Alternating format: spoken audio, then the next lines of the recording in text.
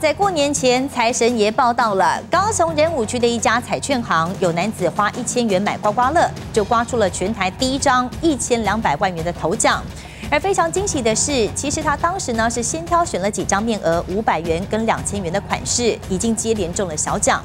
后来是请店内的员工再帮忙挑选，而对方是第一天才刚来学习的新人，他才刚上班两个小时就挑到了头奖，而且这个奖呢，全台湾只有五张。消息传开来，今天店家一开业就挤满了要沾喜气的人潮。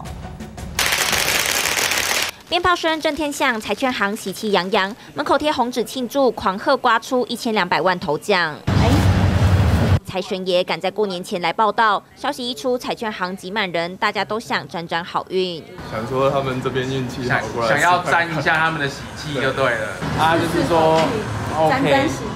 六号下午，一名年约三十五岁的男子到高雄仁武区这间彩券行，先是挑选几张面额五百、两千元的商品，接连中了几张小奖后，再花一千元请店内员工帮忙挑选一千两百万大吉利刮刮乐，没想到却意外刮中头奖。他就是也很开心，然后又很惊讶，他就说：“啊，我有没有看错？”他就是一直在确认，还跟我们那个工作人员都是属猪，对，工读生刚好是昨天第一天，就是来实习，他来好像两个小时左右吧，就。